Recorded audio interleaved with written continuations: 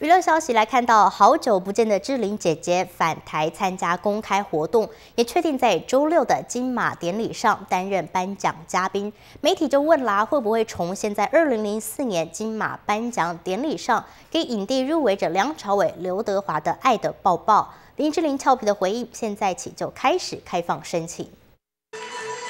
群后面缓缓现身，好久不见的志玲姐姐返台参加公开活动，一身紫蓝色旗袍，拿起扇子，美美的摆 pose，展现绝佳气质。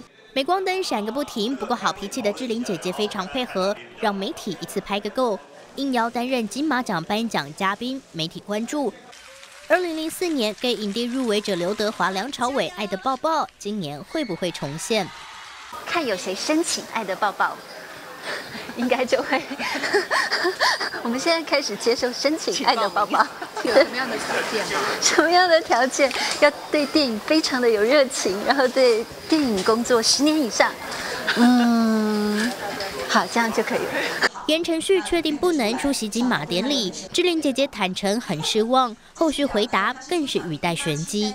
可是他决定了就没关系，我们有机会一定还是会见到啊。哦你们在我们反而比较见不到。